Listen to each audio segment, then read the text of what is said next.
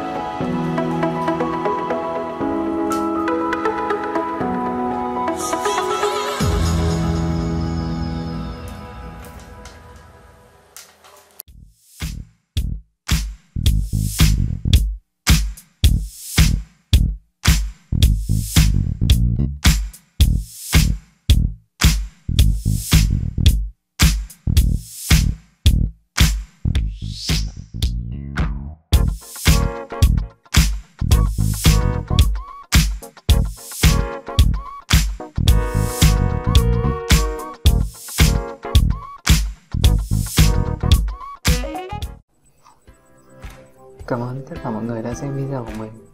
Mọi người nhớ ấn like và theo dõi kênh để ủng hộ mình nhé. Bye bye.